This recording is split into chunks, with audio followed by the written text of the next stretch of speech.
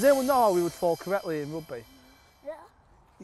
Go on, I'll let you. You answer the last one, so we're going to let you answer this one. Go on your knees and then go like that. Yeah. Perfect. Okay. You change it back to two. Do you want to demonstrate how you would do that again? And then the ball is the last thing to hit the floor. Okay, can we do that? So grab yourselves a rugby ball, stay inside the blue coned area. What I want you to do is I want you to just run around with the ball, throwing it up in the air and catching it as much as you can. Make sure you don't bump into anyone. As high as you want to, that's fine. But when I shout fall, I want you to fall to the floor. Is that okay? Like Megan just showed you. You ready? Let's go. And fall.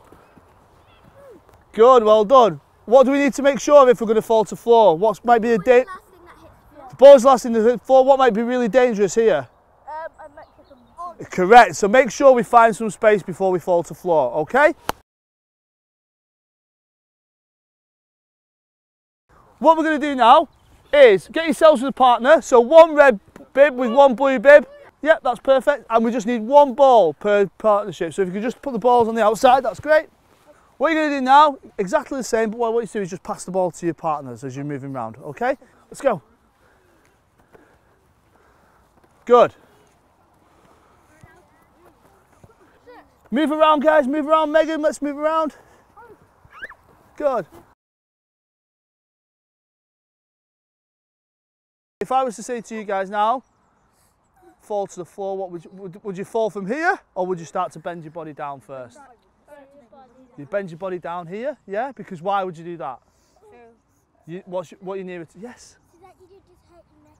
You don't exactly. So what you'd do is you'd start to fall here, okay, and then what we're going to do is we're going to make sure we put our head, tuck our chin near to our chest, so our head doesn't fall back and hit the floor. Want you to do is just bend down onto the floor, into this position, and then just roll backwards, keeping your head in.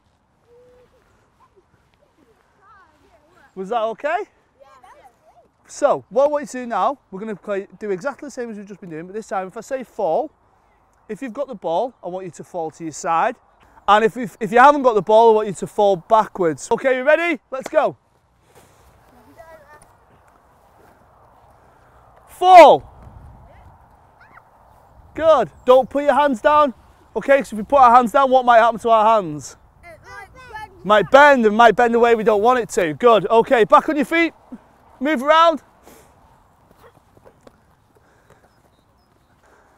And fall.